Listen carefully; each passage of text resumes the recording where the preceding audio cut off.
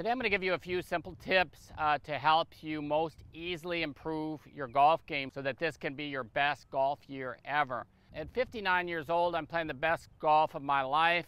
I'm going to share with you a few things that will help guarantee improvement in your own game. Also, do me a huge favor, click the subscribe button below to subscribe to my channel and hit the bell to accept notifications. Well, we're going to talk about uh, basically first the setup and I've found that for 99% of golfers setting up here is in this position which is commonly taught where the club is at an angle uh, to the arms uh, even though we know that at impact it's going to be like this so every top player and every beginner at impact, the wrists uncock. So if we just set up for that simply by raising the hands up to where the wrists are uncocked, you keep the same distance from the ball. Um, at first it feels kind of funny, but after you make a few swings and you see ball after ball fly better than you're used to, uh, you'll know for sure that it's a great idea and it works really well. You might have seen Bryson DeChambeau setting up this way when he won the US Open a couple years back and uh, I have thousands of clients over many years who have made the switch and who are playing the best golf of their life. So simply set up, raise the hands up, and you're ready to go. Uh, my customizable program also helps you with deciding exactly what strength of grip to use, how to find the hand orientation that's going to give you faster success.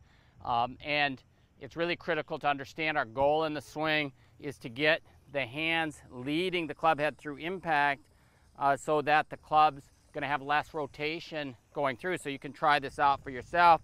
Move like this, less club face rotation than doing this, which is what 95% of golfers do through impact. They have the club face rotating. Get the hands leading like this. There's less rotation. It creates a shallow flat spot through impact if you continue rotating through, and it creates a straight spot. It gives you also more club head speed and helps you hit the middle of the face. I mean, it's that's why there hasn't been a top player in the last hundred years uh, that didn't have the hands leading through impact. So I have a series of simple drills that basically teaching you from here to here first. Learn to do this. Do this in slow motion. You can pick up a club right now and just practice. Move the club head back to your trailing foot and then shift and rotate your body in the other direction and rotate through to the leading foot. And you should be able to do this very quickly um, and then make some practice swings. And then I want you to see if you can hit a few balls, just really with short swings like that starting out. My program takes you all the way from there to a full swing and allows you to send in videos through a free app for my review and you can send in videos daily it's very inexpensive. So check that out at setupforimpact.com. And uh, you have access to my complete learning program as well, as well as being able to ask me questions. I also use the divot board, one of the best learning tools that I've found. And the divot board actually shows you exactly where you make contact with the ground on every swing, which is one of the most important factors when hitting golf shots.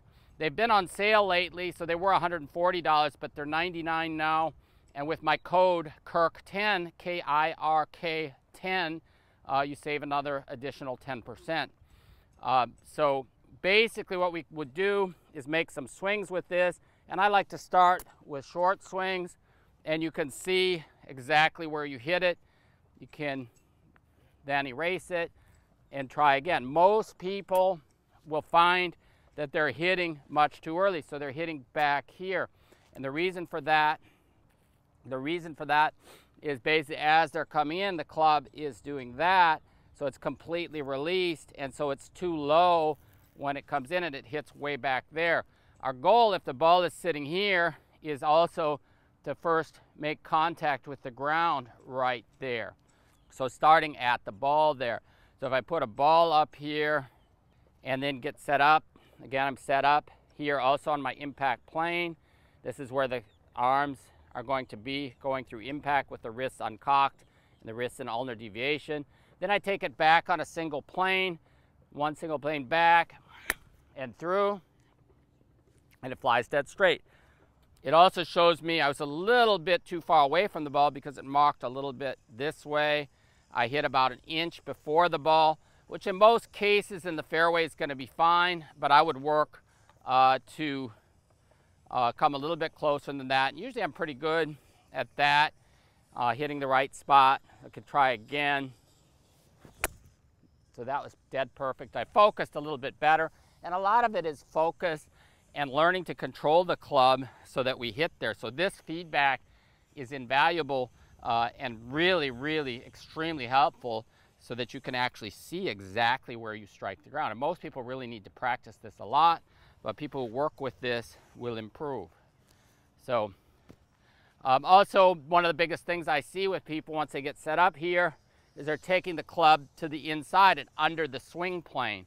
And this is a big problem because from there, most people are too much from inside coming into the ball, and then they can't have the hands leading or the ball would go to the right, so they end up having to do this. So for that, we talk about swing plane. If I look and get set up here as a nine iron and I move back here, please don't hit balls with a rod sticking in the ground behind you, but it's great for making some swings and practicing that we're going back. And this is my setup plane.